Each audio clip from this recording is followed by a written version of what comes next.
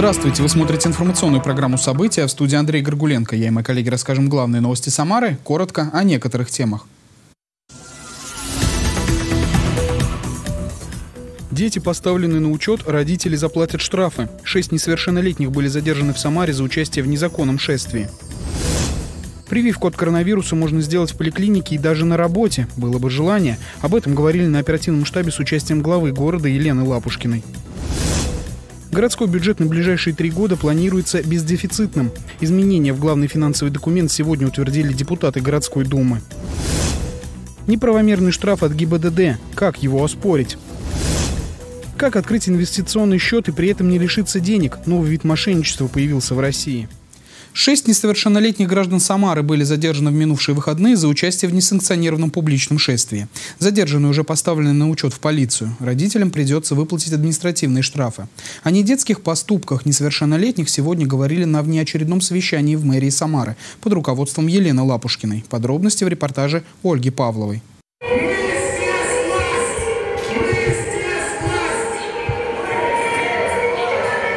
Ролики в популярной сети TikTok, призывающие несовершеннолетних граждан выйти на несанкционированный митинг в минувшую субботу, разлетелись по стране и миру молниеносно. Итог неуемных фантазий, энергии печален. В Самаре на незаконном шествии арестовали шесть ребят, не достигших 18 лет. Отвечать за поступки подростков пришлось родителям и администрации учебных заведений города. Регулярно, примерно за две недели до э, мероприятия, выкладывались а, в соответствующих жанрах грамотно поданные сюжеты, которые, надо сказать, позволили эту тему сделать а, достаточно модной среди подростков.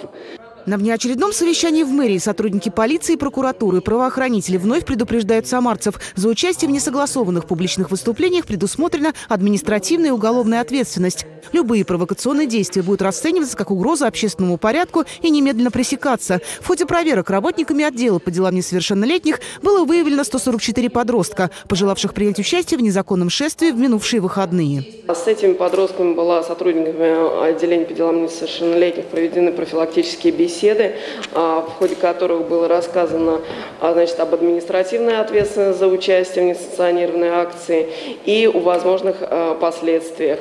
Интегрироваться в яркий виртуальный мир подростков родителям и учителям не так просто, отмечают собравшиеся. Но быть ближе к собственному ребенку и ученику, научиться слышать и попытаться его понять под силу каждому взрослому человеку.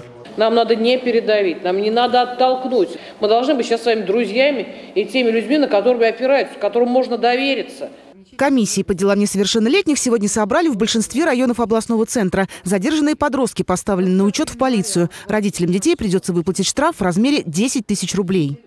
То есть, участвуя в разного рода акции, скажем так, дети подвергают в первую очередь свою жизнь и здоровье определенным негативным последствиям. Могут пострадать. В то же время они должны учиться и думать о будущем, о будущем своей страны.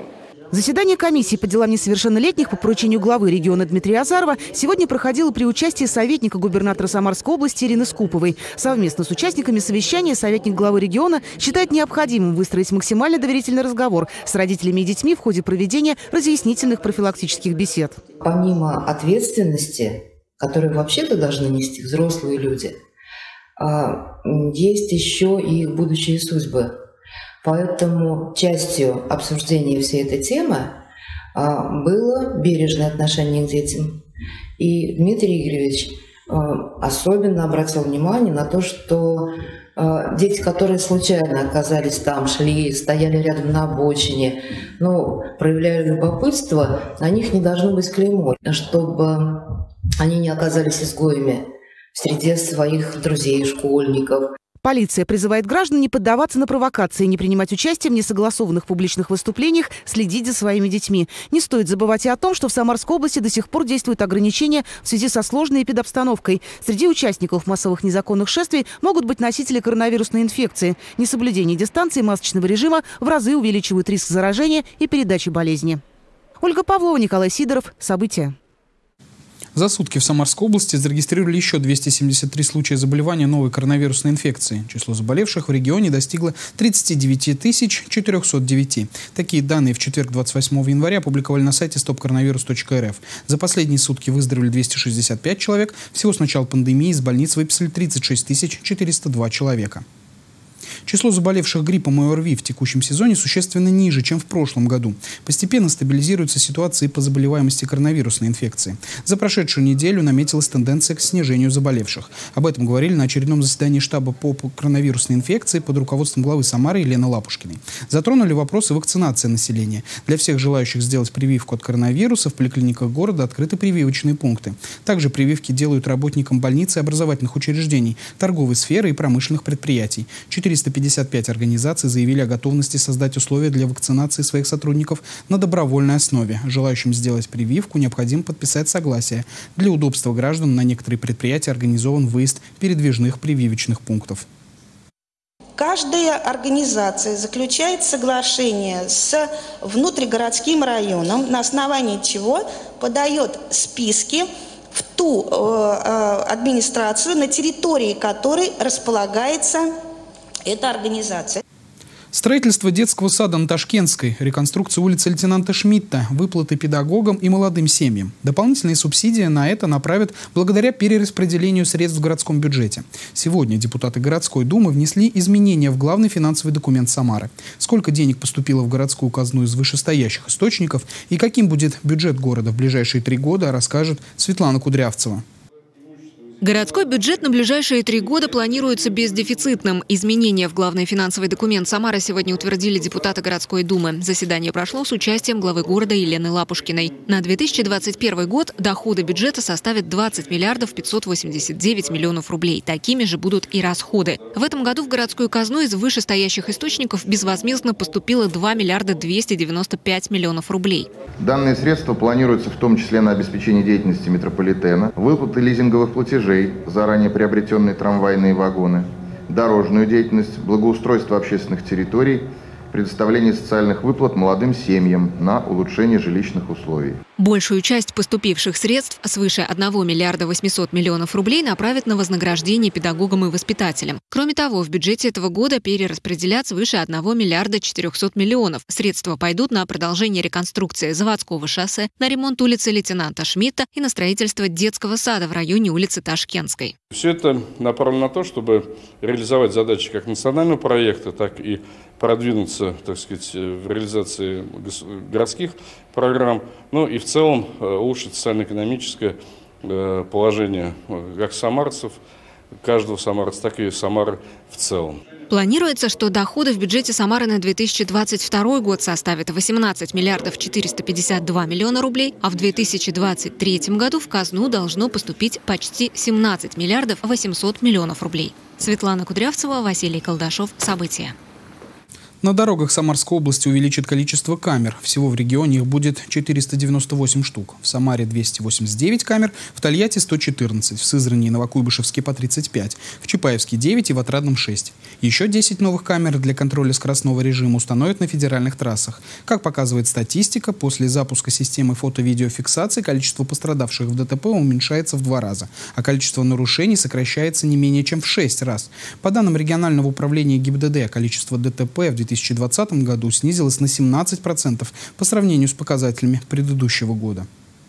За 2020 год инспекторы ГИБДД составили почти 4 миллиона административных протоколов. Часть из них удалось обжаловать. Что делать, если вам пришел штраф, но вы с ним не согласны, расскажет Мария Левина. Дмитрий Самуткин за рулем уже почти 10 лет. Пять лет назад вождение автомобиля из хобби переросло в профессию. Говорит, уверенно чувствует себя на дорогах и не забывает об ответственности. Расслабляться за рулем не позволяют и многочисленные камеры, которые сегодня есть на каждом перекрестке. Вот только не со всеми штрафами, которые приходят, Дмитрий согласен. Да, с каждым годом становится все больше и больше камер. Почти на каждом перекрестке уже начали ставить. В плохую погоду, когда пурга, метель, заметает полосы, то есть знаки не видно и как бы фиксирует правонарушение. То есть не, не видишь знаки, разметку и получается нарушаешь автоматически. Все кадры с камер видеофиксации в режиме онлайн доступны в специальном информационном отделе ГИБДД. Три десятка инспекторов здесь разбирают нарушения и выписывают штрафы. На экране красным прямоугольником отмечены автомобили, которые нарушили правила дорожного движения. Вскоре им пришлют штрафы. Хитроумные водители, в основном маршрутного такси, скрывают номер авто. Но и им избежать наказания не удастся. По базе данных инспекторы в течение часа определят, на кого зарегистрирована «Газель». Находясь непосредственно на местности, сразу все камеры достаточно сложно заметить. Вот, например, здесь на пересечении Спортивной и Красноармейской их несколько по каждому из направлений движения. Всего же в области установлено 527 комплексов фото и видеофиксации нарушений. А на этих кадрах тот же перекресток, только на мониторе. В день каждый сотрудник центра обрабатывает несколько сотен нарушений, которые фиксируют камеры. Летом число спорных ситуаций на дороге переваливает за 50 тысяч, а в холодное время года всего лишь около 2 тысяч. И дело не в том, что зимой водители становятся более дисциплинированными, а в том, что большинство камер в непогоду выключают. Неблагоприятные погодные условия, а, соответственно, фиксация нарушений, допустим, линии разметки а, ну, не происходит. То есть мы заранее заботимся об этом. И, соответственно, даже если когда-то фиксируются данные а, значит, нарушения, то должностное лицо обязательно просматривает. И если отсутствует доказательная база нарушения, то фото-видеоматериал не подлежит вынесению постановления. Если же письмо счастья вам все-таки пришло, то в течение 10 календарных дней вы имеете право обжаловать штраф в судебном порядке. Человек, нарушая правила дорожного движения, прежде всего должен предполагать, какая за это предусмотрена ответственность. Соответственно, если не видно разметки, то лицо не может знать, что нарушает правила. А единственная проблема в том, что э, вот этих э, нарушений, штрафов с помощью видео фиксации, их приходит очень много. Даже было какое-то исследование, что у инспектора буквально там несколько секунд на то, чтобы посмотреть фотографию, увидеть, что да, действительно нарушение есть, и выписать постановление. За 2020 год областное ведомство обработало почти 4 миллиона нарушений на сумму около 3 миллиардов рублей. Порядка 33 тысяч человек оказались не согласны с предъявленными штрафами. Если у вас возникла спорная ситуация, направить жалобу можно почтой с доставкой в дежурную часть отделения полиции, написать заявление в районный суд, либо записаться на личный прием в ГИБДД. Мария Ильеевна, Григорий Плешаков. События. Сегодня в Ленинском районном суде оглашается приговор по делу о мошенничестве в Самарском банке «Волга-кредит». Председатель управления Татьяне Ерелкиной назначили наказание в виде 9,5 лет лишения свободы, и она будет взята под стражу в зале суда. Напомним, по версии следствия, с июня по декабрь 2014 года сотрудники и руководители банка «Волга-кредит» вносили ложные сведения в бухгалтерскую отчетность организации и снимали деньги со счетов вкладчиков. Сообщалось об обращении в полицию около 2000 потерпевших. Предполагаемая сумма ущерба оценивалась почти в 2 миллиарда рублей. Было возбуждено уголовное дело о мошенничестве в особо крупном размере. В России активизировались мошенники, которые предлагают гражданам открыть инвестиционные счета. Жители страны купили валюту почти на 5 миллиардов долларов. Морской экспорт российской нефти в феврале может снизиться. Подробнее в нашей рубрике «Новости экономики». Здравствуйте, это новости экономики. Расскажу о них я, Светлана Кудрявцева. В России активизировались мошенники, которые от имени брокеров предлагают гражданам открыть инвестиционные счета. Сегодня на рынке наблюдается огромный приток новых вкладчиков, желающих заработать. В 2020 году количество брокерских счетов инвесторов на московской бирже выросло на 130%. Это больше, чем за предыдущие 20 лет. Такой расклад привлекает мошенников. Как правило, они подталкивают клиентов открыть счет в подставной компании и сделать денежный перевод под предлогом якобы очень высокой доходности продукта продуктов этой компании. Ну а затем преступники просто исчезают вместе с деньгами обманутых инвесторов. Россияне купили валюту почти на 5 миллиардов долларов. Дело в том, что рубль в 2020 году продемонстрировал одно из сильнейших падений. Российская валюта снижалась несколько раз в марте и в сентябре. И по итогам года рубль потерял около 30% к евро и более 20% к доллару, оказавшись в пятерке худших среди основных валют. На фоне резкого ослабления рубля россияне ринулись покупать иностранные деньги. В конце прошлого года граждане приобрели иностранную валюту на сумму 4 миллиарда 700 миллионов долларов. Скупали валюту в российских банках и через брокеров на московской бирже. Спрос на доллары и евро подстегнули низкие рублевые ставки. Российский рынок в этом году будет снова сильно подвержен внешним рискам. Мутирующий коронавирус, вакцинация, санкции и другие негативные события ведут к волатильности рубля, то есть к изменчивости курса и колебаниям цен на нефть, рассказал нам наш постоянный эксперт-финансист Александр Тымчук. Для российского рынка, конечно, существуют риски, их больше, нежели для многих других потому что и стоимость нефти также будет очень сильно зависеть от того, как будет ситуация с коронавирусом развиваться, и мы наверняка увидим еще довольно мощные движения вниз.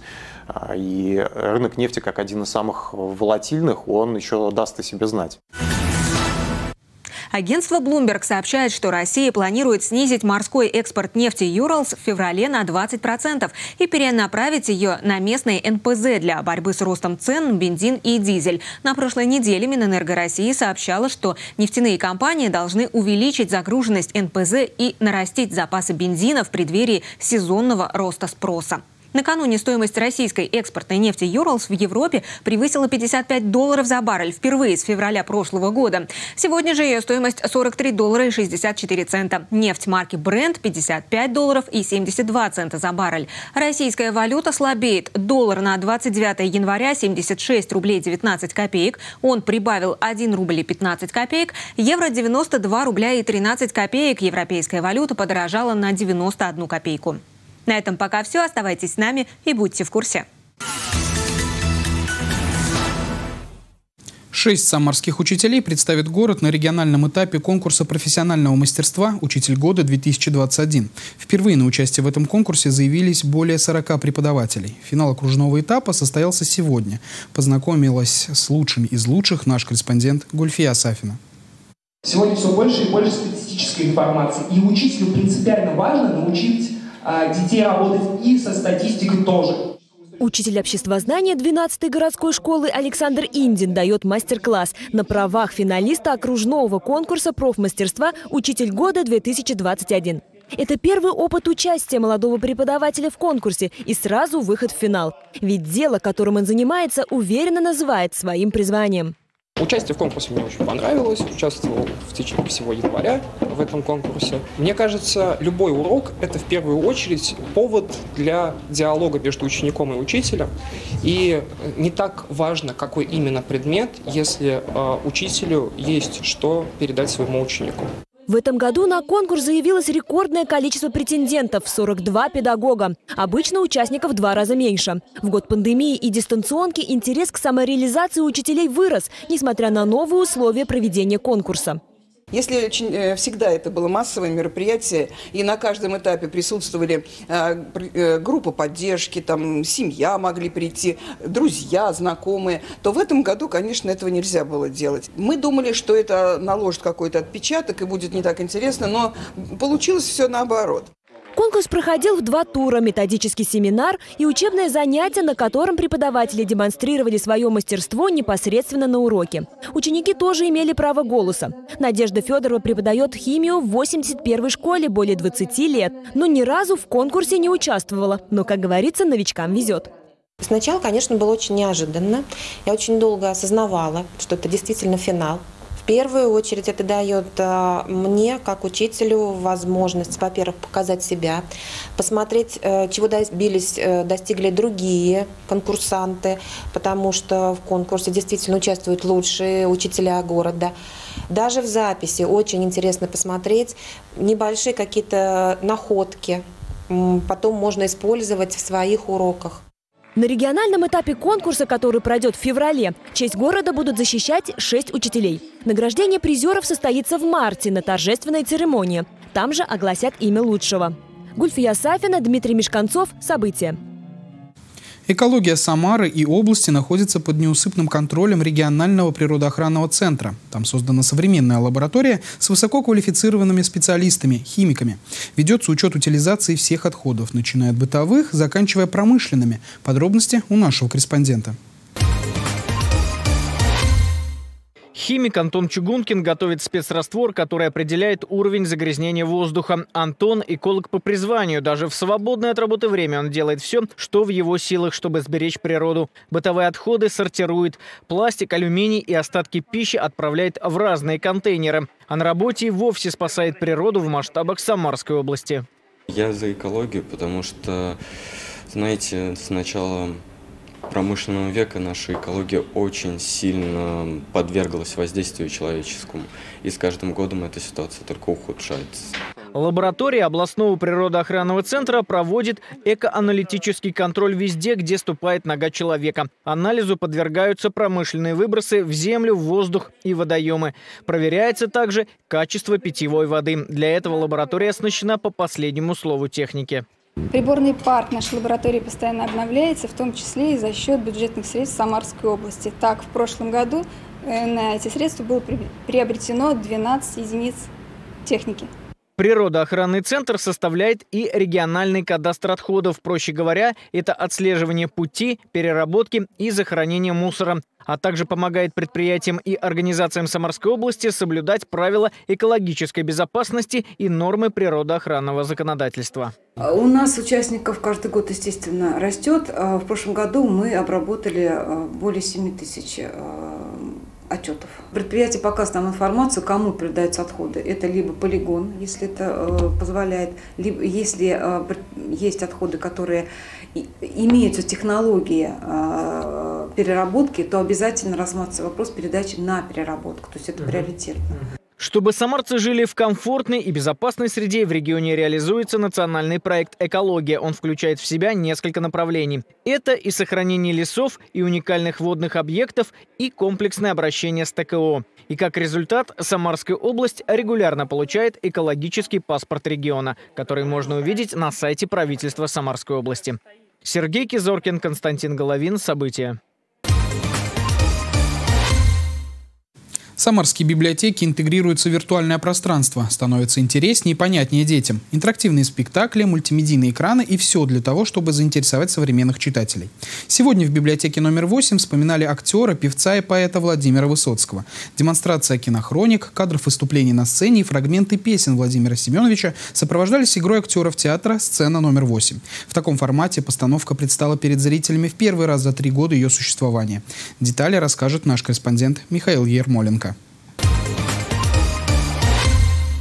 За то, что я хриплю на всю страну, чтобы доказать, я в колесе не спится. За то, что мне не имется и не спится. За то, что в передачах за граница мою передает блатную старину.